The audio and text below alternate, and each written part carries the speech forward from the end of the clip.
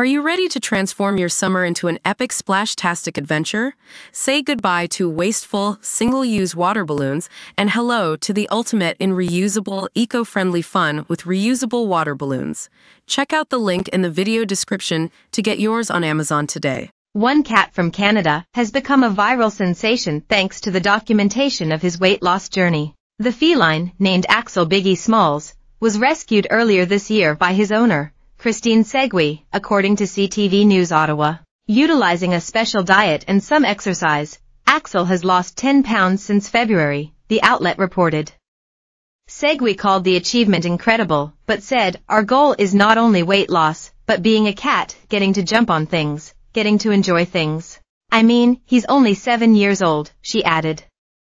He still has a lot of time left in his life, and we want to make sure he gets to enjoy that. Never miss a story, Sign up for our channel's free daily newsletter to stay up to date on the best of what our channel has to offer, from celebrity news to compelling human interest stories. Segui began documenting Axel's weight loss journey earlier this year with a first clip posted on TikTok in February. Meet Axel aka Biggie Smalls.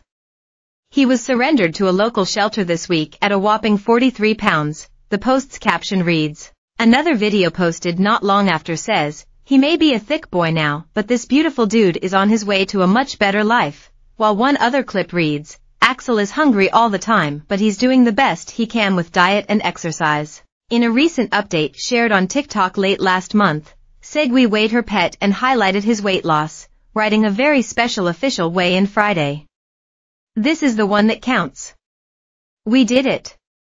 Go biggie or go home baby. According to Segui, Axel has grown quite a little following of people who cheer his weight loss every Friday and how he's doing. She now wants the feline, who has amassed over 130,000 followers, to lose another 10 to 15 pounds over the next year. I fostered hundreds of cats and he's just like a toddler.